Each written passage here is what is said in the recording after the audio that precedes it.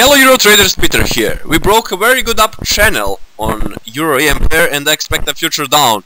My potential targets are 108.60 and 107.90.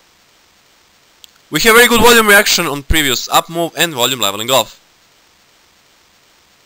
Uh, but otherwise, if you broke level 110.15, we can see a future up move.